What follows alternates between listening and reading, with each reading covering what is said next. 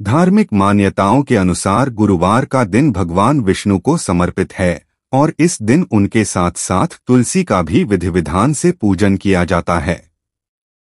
हिंदू धर्म में तुलसी को पूजनीय स्थान प्राप्त है, और इसलिए आपने हर घर में तुलसी को पौधा ज़रूर देखा होगा।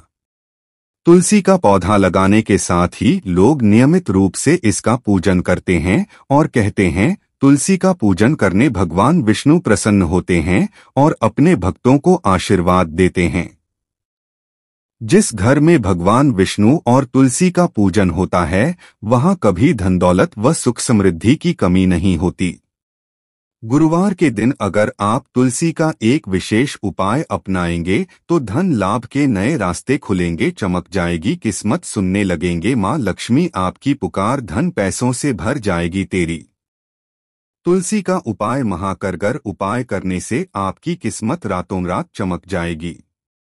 धन प्राप्ति के लिए आपको गुरुवार के दिन के तुलसी का यह विशेष उपाय अवश्य करना चाहिए। भगवान विष्णु को प्रसन्न करने के लिए गुरुवार के दिन स्नान के बाद तुलसी की जड़ को कच्चे दूध से सींचना चाहिए। इसका मतलब है कि तुलसी में कच्चा दूध चढ़ाना चाहिए। इसके बाद शाम के समय तुलसी के पौधे के पास घी का दीपक जलाना चाहिए।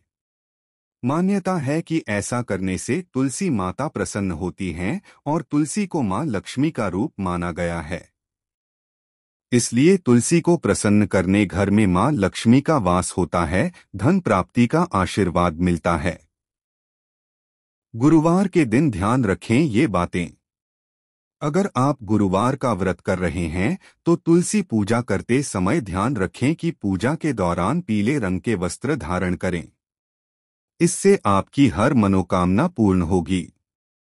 गुरुवार के दिन व्रत करने वाली महिलाओं को बाल नहीं धोने चाहिए और ना ही साबुन का इस्तेमाल करना चाहिए।